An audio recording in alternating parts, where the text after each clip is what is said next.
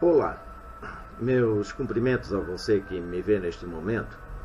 Meu nome é Paulo Duarte, eu moro em Florianópolis, eh, Santa Catarina. Fui professor por 39 anos e hoje sou professor aposentado da Universidade Federal de Santa Catarina. E resolvi fazer este vídeo aqui para conversar um pouco sobre a questão do, do, do processo de ensino-aprendizagem. É, ensinar e aprender é um caminho de mão dupla. Exige esforço de ambos os lados, daquele que ensina, daquele que aprende, e muito principalmente daquele que aprende, não é? E educação também não deixa de ser um processo de ensino-aprendizagem. Quem educa, ensina. Quem aprende, se educa. Então, a, essa questão da, da educação também é um processo de ensino-aprendizagem. Aquele que educa, ensina, e aquele que aprende se educa. E uma coisa muito importante: ninguém aprende pelo outro. O processo de aprendizagem é um processo individual. Eu só aprendo se eu me esforço para aprender. Então, na educação é a mesma coisa eu só me educo se eu me esforço para educar-me. Eu é que me educo. Ninguém se educa pelo outro, ninguém se educa por mim. O processo de educar-se é individual. Só eu posso me educar. Portanto, o processo de educação é também um caminho de mão dupla. Há, há aquele que educa e há aquele que se educa. E é bom lembrar que educação também é aprendizagem, é claro. É também um processo de ensino-aprendizagem. Todos nós somos alunos. Todos nós. A sociedade é uma grande escola e nela todos nós somos alunos. Existem regras que precisam ser aprendidas e respeitadas dentro da sociedade. A família é também uma sociedade em que todos somos alunos. Existem regras que precisam ser aprendidas e respeitadas, é claro. A convivência social exige o respeito a regras de conduta. Agora, é interessante observar que no caso da educação, é comum pensar que os, os filhos, por exemplo, são como massinha de modelar, que deles os pais podem fazer o que quiser, que nós podemos modelar a nosso gosto, mas não é bem assim. Educação também é aprendida. Educação não é um processo externo. Educação é um processo interno. Educação é um processo individual, interior de cada um.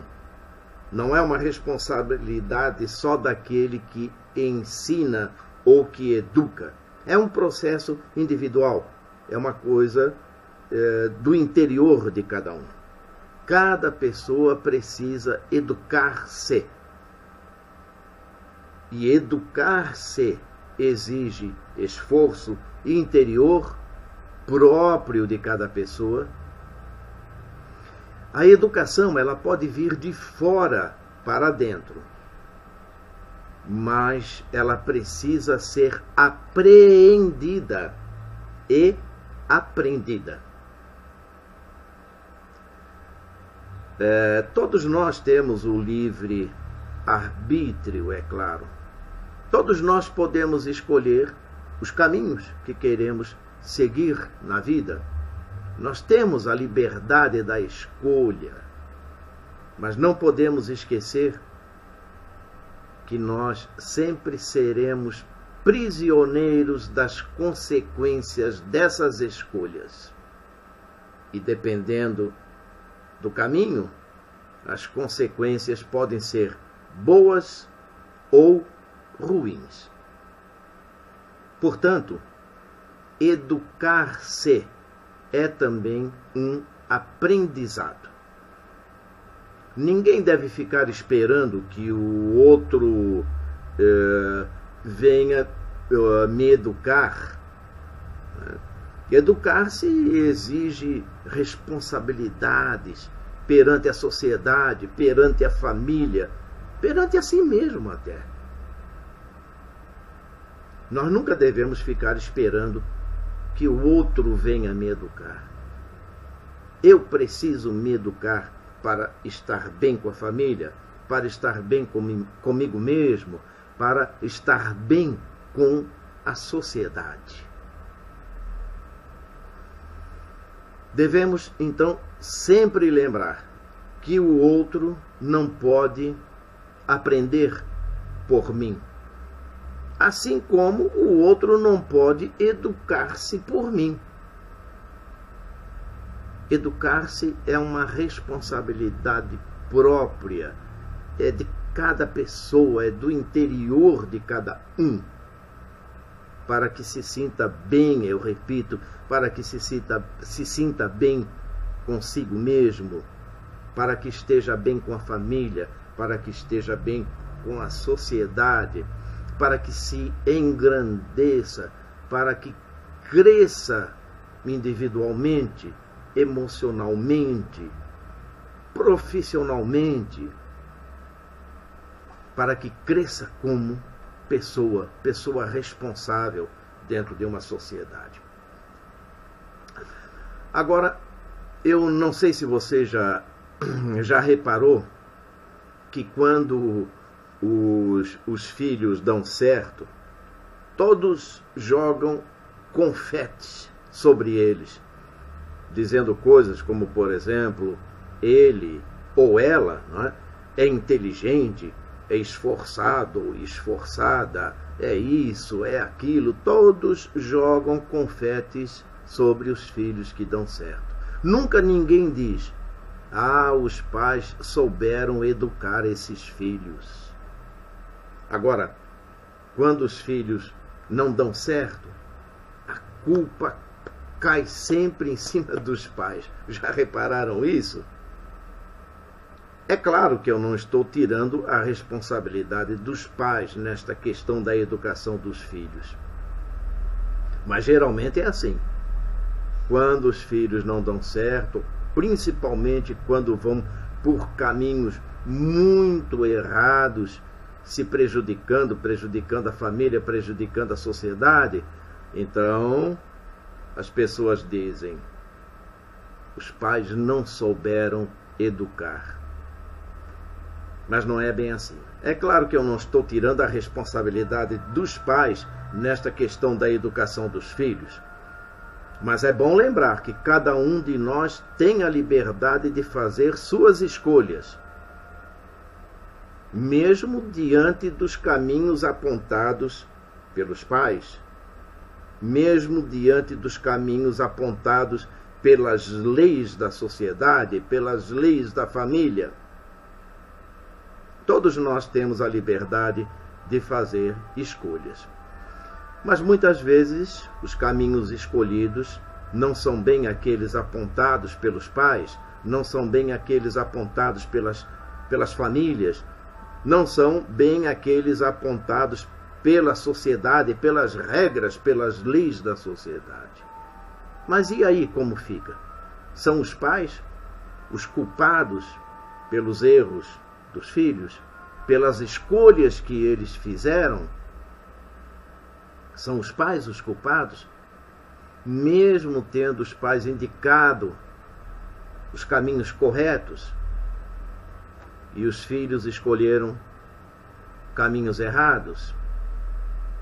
São os pais os culpados? São os pais que não souberam educar? Então eu re repito, a responsabilidade das escolhas é nossa. Nós somos os responsáveis pelos caminhos que escolhemos seguir na vida. Agora é bom lembrar também que existe por trás de tudo isso uma questão importante que é a genética. Eu não quero aqui entrar em questões religiosas ou místicas como karma, resgate de vidas passadas e outras coisas, não quero entrar por esse caminho. Quero ficar apenas na questão genética, que muitas vezes pode explicar doenças e certos comportamentos, por exemplo, de pessoas viciadas em bebida e outras drogas. Claro que isso não serve de desculpa, mas é algo que a maioria das pessoas não domina. E isso é a, é dificuldade de lidar com, com, com situações assim. Né? O organismo pede substâncias para serem jogadas na corrente sanguínea. E aí então a pessoa passa a se sentir bem, se sentir relaxada e muitas vezes até fugir da realidade, fugir do mundo, criar um mundo totalmente próprio. É uma forma de criar fantasias, de fugir da realidade, fugir das responsabilidades sociais, enfim, fugir do mundo. Mas pode ser uma doença. Eu não estou aqui arrumando desculpas para ninguém, mas estou colocando mais uma questão a ser pensada. É, e por isso, não é, este tema que eu me propus falar aqui neste momento, que é a questão da educação como um processo individual de aprendizado. Mas eu repito, Educação não é um processo externo. Existe aquele que educa, que pode ser o pai, a mãe, o professor, a escola, a família, a sociedade. Mas o processo de aceitar e escolher os caminhos é individual. E isso é chamado de educar-se. Mas muitas vezes, uma doença, uma questão genética, pode atrapalhar este processo que eu chamo de educar-se. Mas educar-se é um processo que vem de dentro e não de fora. Não de fora para dentro, mas principalmente, é claro, de dentro para fora. E ainda mais, ninguém pode educar-se, como eu já disse, pelo outro. Pode apenas apontar os caminhos. Porém, aceitar os caminhos indica, indicados é, é, é, uma escolha que, que não depende mais daquele que educa, e sim daquele que se educa. Interessante, não é? As escolas fazem provas para forçar os alunos a estudar. E é até pena que, que seja assim, porque o aluno aprende a estudar para fazer provas e não aprender lições para a vida, aprender coisas para enfrentar a vida. O aluno estuda para fazer provas. É pena que seja assim. Estudar para fazer prova e não para aprender coisas para aplicar na sua vida em sociedade. Mas infelizmente é assim. Agora, por sua vez, usando aqui uma, uma metáfora, a vida também faz provas com a gente.